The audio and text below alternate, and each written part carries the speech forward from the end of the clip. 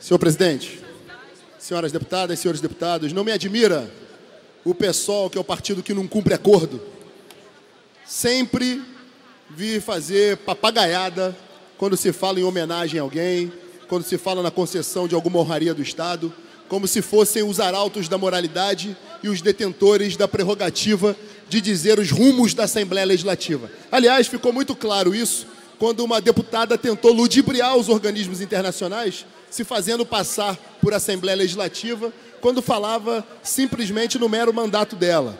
Mas não me admira. Quero deixar bem claro, senhor presidente, que toda a iniciativa me parece muito clara por parte de toda a nossa bancada do PSL, quando apresentamos alguma proposta, deputado Val, no sentido de dar uma, conceder alguma honraria, um título que está disposto ali na legislação estadual, também no regulamento dessa casa, nós fazemos com alguém sempre respeitando quem efetivamente prestou algum serviço para o Rio de Janeiro.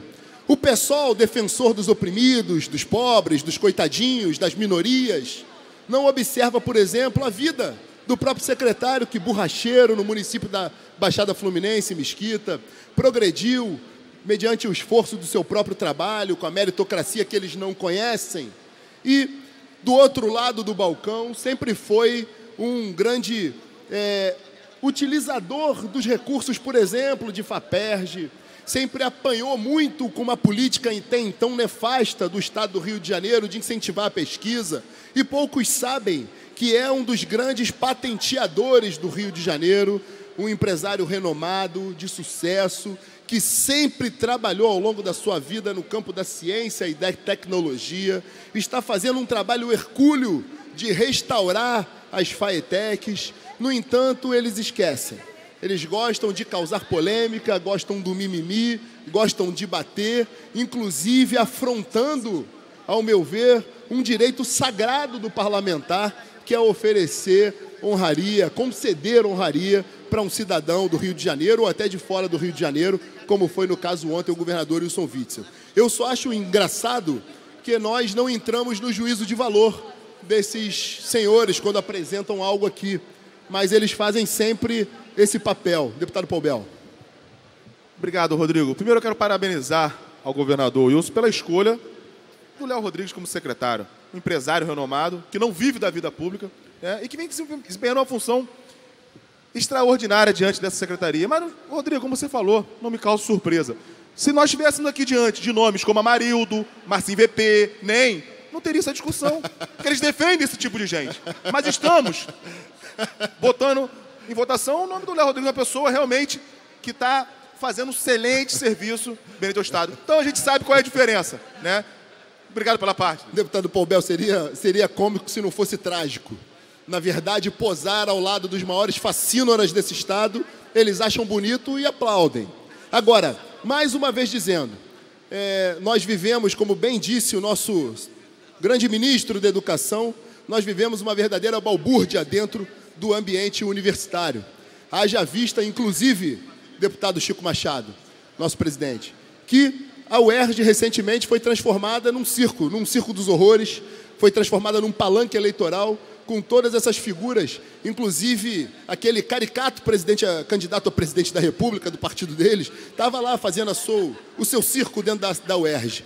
E eles não enxergam isso, enxergam a balbúrdia. Nós precisamos mostrar que a universidade vive num estado de balbúrdia, de putrefação, e nós vamos restaurar a universidade, os senhores gostem ou não.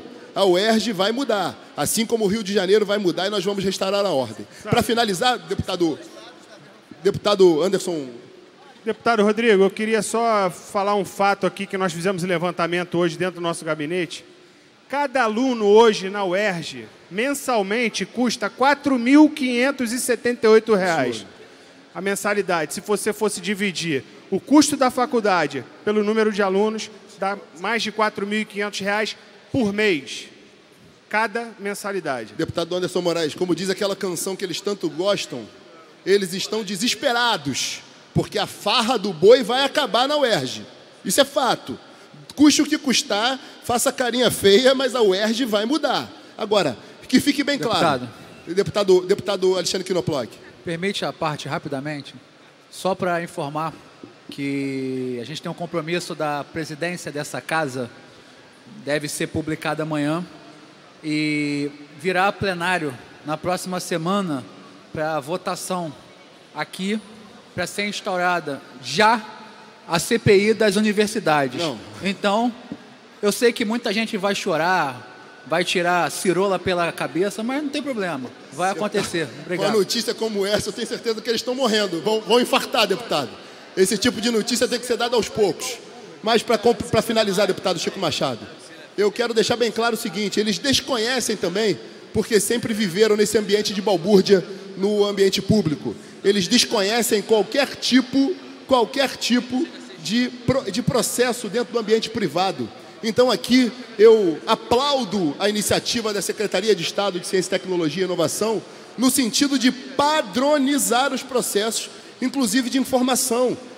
Hoje a secretaria tem um site, um sítio na internet muito claro, com informações claras, e precisam padronizar o processo de informação.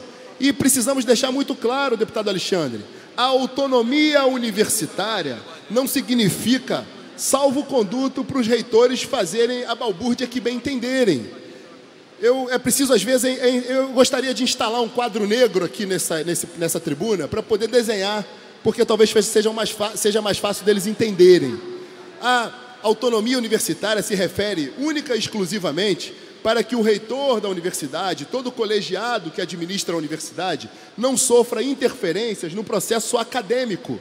Agora, a gestão da universidade, eles não podem fazer o que bem entender. A bagunça que vem acontecendo, inclusive na própria UERJ, onde os desvios de função são ao bel prazer do reitor e dos amigos do rei, onde as compras eles fazem como bem entendem.